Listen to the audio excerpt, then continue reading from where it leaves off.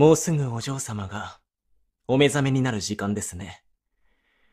思った以上に旦那様からの仕事に時間がかかりましたが、まだ起きられる時間までに間に合うといいのですが。お嬢様、失礼いたします。お目覚めの時間になりましたので、伺いました。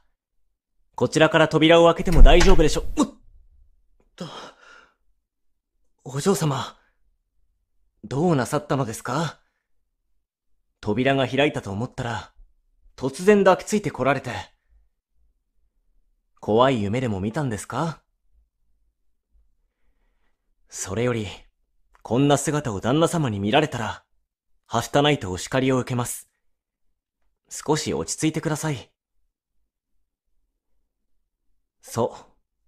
深呼吸。お上手ですよ。ゆっくりで大丈夫です。まったく、訪ねてきたのが他の羊だった場合は、どうするんですか？私だったからよかったものを。それに、まだ寝巻きのままではないですか。とりあえず、廊下でこんな姿を他の者に見られてはいけませんから。お嬢様のお部屋に、失礼いたしますね。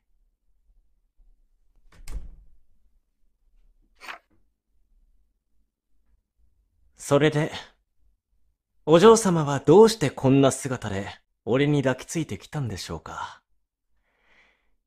もちろん聞かなくても理由なんてわかっていますよ。目が覚めた時に私が隣にいなかったから不安になったのでしょう なんて可愛らしいんでしょうか。私への絶大なる信頼。いえ、違いますね。私への依存と執着といったところでしょうか。ご幼少の頃からお嬢様のそばにずっといたのですから、当然ですよね。何をするにしても、私がいないと一人では物事を進められない。私の姿が視界から消えると不安になって迷子の子猫のように探してしまう。私なしでは、うまく息をすることもままならない。不安で不安で、寂しさと恐怖が襲ってくる。もちろん、そんな風にしつけてきたのは、私なんですけどね。どうしたのです？そんなに驚いた顔をして。今更ではないですか。現に私がいなくて、今まで探していたんでしょ？乱れた髪に、息の上がった唇、寂しさで震える肩と、潤んだ瞳。それは私を、誘っているんでしょうか？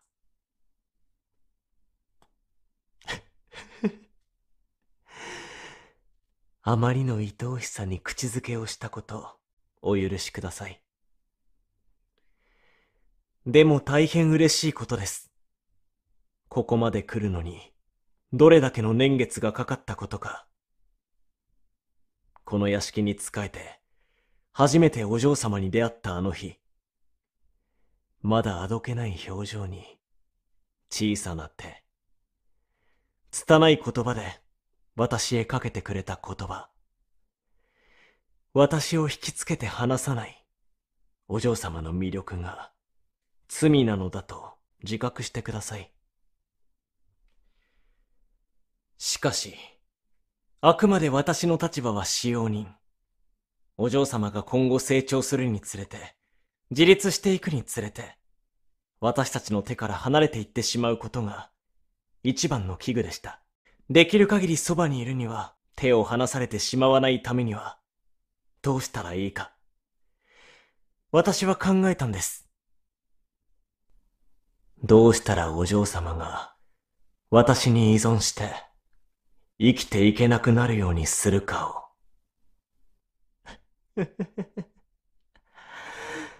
まだ震えているんですね。大丈夫ですよ。私が抱きしめて、震えを止めて差し上げますね。もしかして、私の存在が怖くなってしまいましたか？でも、逃げるなら今のうちですよ。今なら旦那様に頼んで、私を解雇するという手段も取れます。しかし、それができるなら、ですけどね。お嬢様は、私がいない世界で、一人で生きていけますか？お嬢様の生活のすべては、私が把握しています。常に私がそばにいないと、何もできない。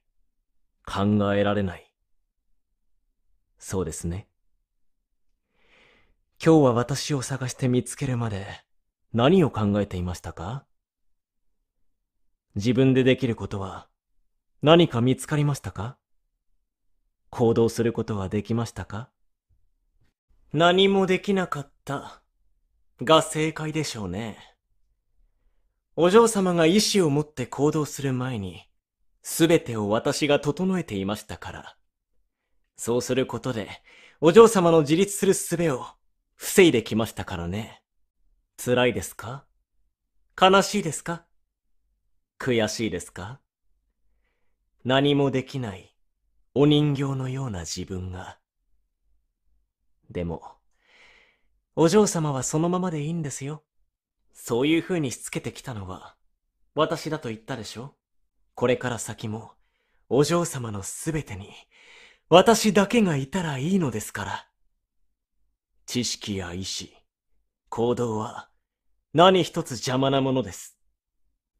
ただただ、私からの無償の愛情を受け入れ続ける心だけを、持っていたらいいのです。もう一度、お嬢様にお尋ねしますね。